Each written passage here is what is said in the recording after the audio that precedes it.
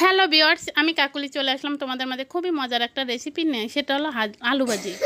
আর সাধারণত সবাই আলু ভাজি করতে পারে এবং আলু ভাজি করে।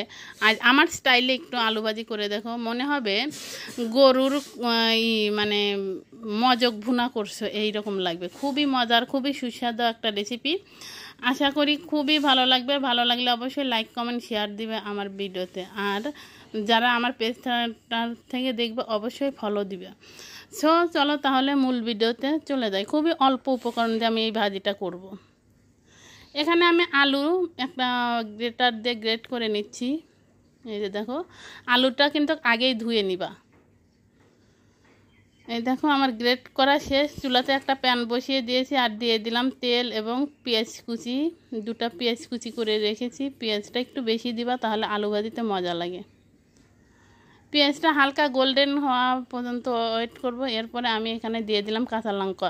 অবশ্যই এটাতে কাঁচা লঙ্কা দিবা, শুকনো লঙ্কার গুঁড়ি দিলে কিন্তু মজা লাগবে না। এখানে দিয়ে দিলাম, আমি আলু যে গ্রেট করে রেখেছি সেই আলুটা। খুবই অল্প মশলা দিয়ে ভাজিটা করবে, তাহলে দেখবে খুবই টেস্টফুল হবে। দিয়ে দিলাম স্বাদ মতো লবণ, হাফ চা চামচ ধনিয়ার গুঁড়ো হলুদের গুঁড়া। এক চা চামচ হলুদের গুঁড়ি ধনিয়ার গুঁড়ি, হাফ চা চামচ জিরার গুঁড়ি। দিয়ে এখন আমি এটা মিক্সড করব।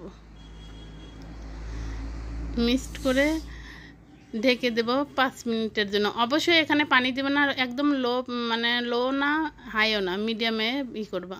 আর এই যে দেখো, পাঁচ মিনিট পর ফিরে আসলাম। এটা কিন্তু একদম ঝরঝরে হবে এবং মনে হবে যে আমরা যেমন মজক ভাজি করি ওই রকম হবে। এই যে দেখো।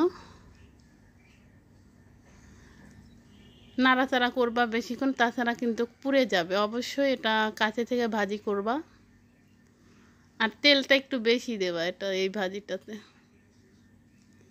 তো এই দেখো কতটা লোভনীয় লাগছে, দেখছ কীরকম হয়েছে? অবশ্যই আমার এইটা ভাজিটা হয়ে গেছে, এখন আমি পরিবেশন করে নিচ্ছি।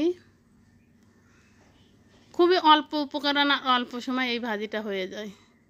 তো এই যে দেখো। তো এই যে দেখো, পরিবেশন করে নিলাম, কত ইয়ামি লাগছে। তো বিয়ার রাখি, টাটা, বাই বাই। আল্লাহ হাফেজ।